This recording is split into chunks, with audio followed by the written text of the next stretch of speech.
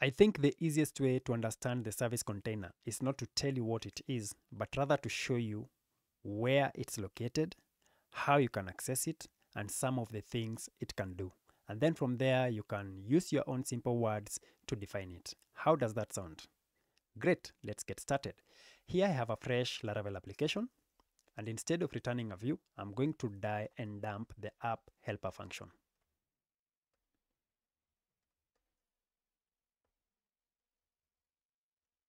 When I refresh the page, we get an application object, which is an instance of the application class in Illuminate Foundation namespace. Let's go to that class. If you go to vendor, Laravel, framework, source, Illuminate, foundation, we have the application class and it's extending the container. Let's go to the container. And this class is our service container. And since the application is extending the container, it means that we can be able to access the container via the application. Let's prove that. So I'll go to the container, and here we have a property called bindings, which is an array. And since it's protected, it means we cannot be able to access it from outside the class. We need a method that is public. And when you scroll down, you'll see that we have this get bindings method that is returning the bindings. So let's try and use this method from the app helper function. I'll go back to web and then here I'll call that method.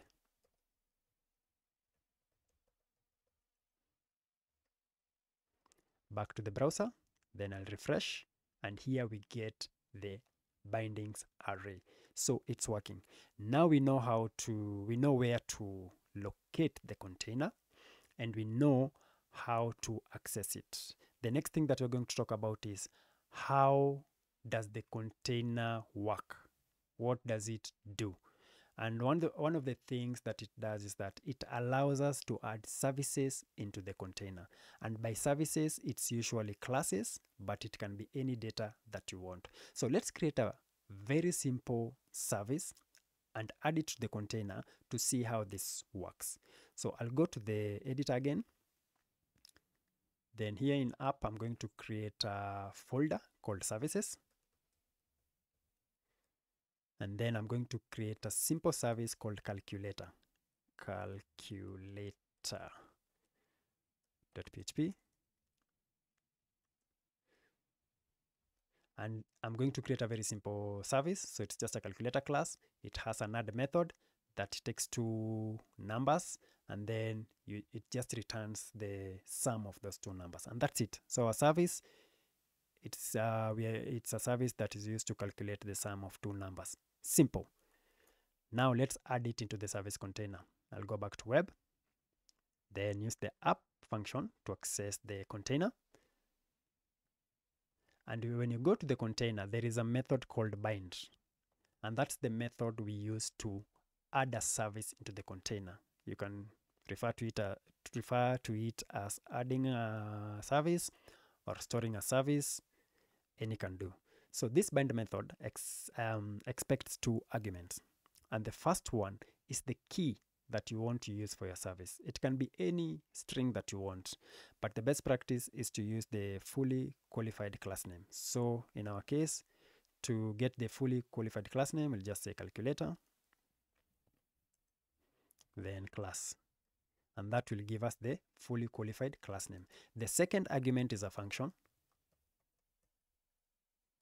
And in this function, we are supposed to return an instance of the service that we are adding into the container. So I'll just say return new, and that is a calculator. And that's it. That's how you add a service into the container. Let's confirm that. And before you confirm, let's switch to back to the browser. I didn't mention this. When you add something into the container, it gets added in the bindings array. So now that we've added something, it should be added in this array. And since we have 50, when we refresh, it should be 51, and it is 51. And when you scroll to the bottom of the list, you'll see that our calculator um, service is added. Now that we've added a, a service into the container. Another thing that the container allows us to do is that we can retrieve the service in our application and use it. So let's do that. Back here, we want to retrieve that service and use it. So instead of die and dumping the method, what you're going to do is that we're going to retrieve a service. How do we do so? If you go to the container, there is another method called make. And that make um, expects one argument, and that is the key that you've used in the container. And in our case, this was our key. So I'll grab that and I'll just paste it here. And by just doing that, um, the container will resolve or will retrieve that service from the container. And now from here, we can use our service. We can just say add, then let's just add one plus one. And let's see if this works. So if I switch back and refresh and it works, we have two. Now, there is something interesting that um, we are about to see. Check this out. If I come here and I comment this out, and then I save, which means now we are not binding anything into the service container.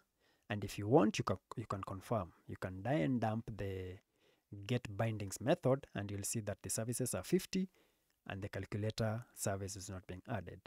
But if we do so and go back to the browser and refresh, whoa, it still works.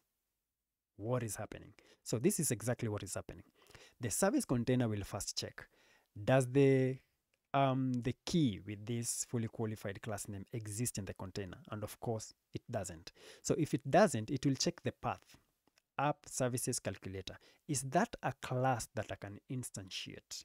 And if that is positive, the service container will automatically resolve or retrieve that service for us. And that's why this is working. Now you might be wondering, if the service container can, can automatically resolve services from the container for us, then why do we need to bind a service into the container? Good question. And the answer is because there are some instances where the service container will not be able to do that for us automatically. And I'll show you that. So I'll go to the calculator class and here I'm going to create um, a constructor. So public function.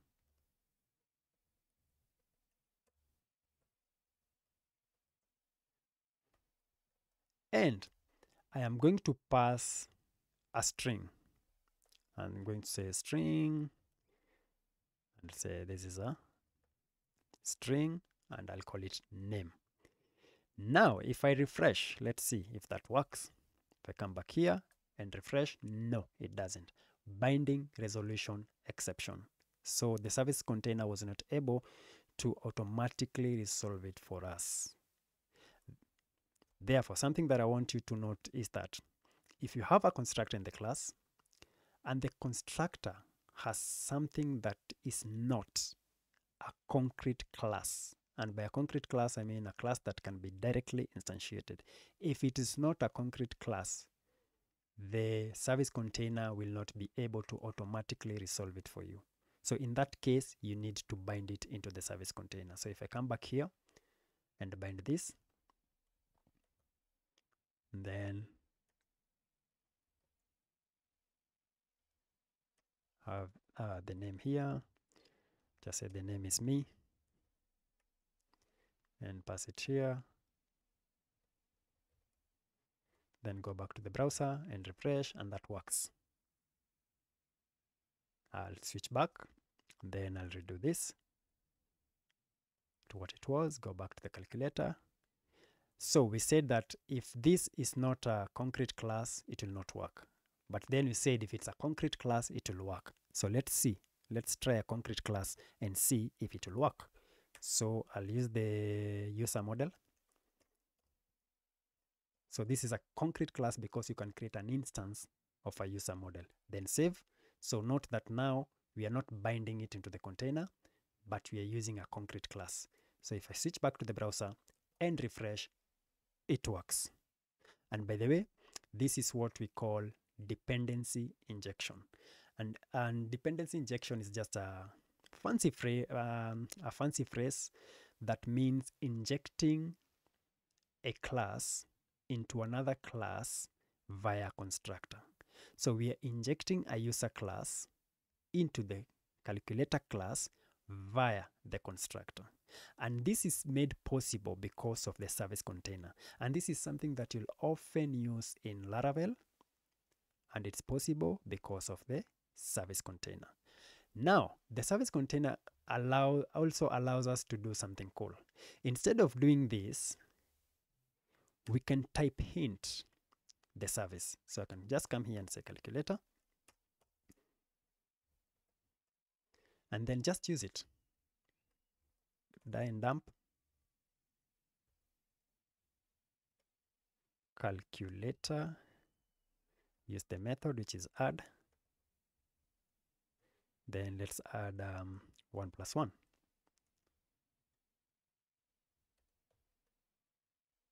We need a semicolon at the end. Then back to the browser, refresh, and it still works. And if you ask me, this is cleaner and it looks good. So when you type you type hint this, the service container will still automatically resolve it for us. And this is something another another thing that you'll often use in Laravel, and it's made possible because of the service container. And that's it for the service container. If you want to learn more about it, please check out the documentation. And um, just a side note, whenever we bind something into the container, we don't do it in the routes file. We do it in something called the service provider. And that's what we are going to cover in the next lesson. See you there. Cheers.